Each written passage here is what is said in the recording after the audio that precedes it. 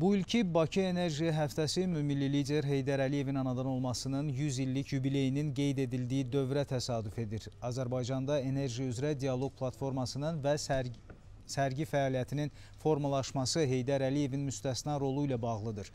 Əsrin müqaviləsindən sonra enerji təhlükəsizliyinin etibarlı təminatçısına çevrilən Azərbaycan neft-qaz sahəsində bütün xarici tərəfdaşlarla əməkdaşlıqda və enerji resurslarının ixracında uğurlu nümunə yaradıb.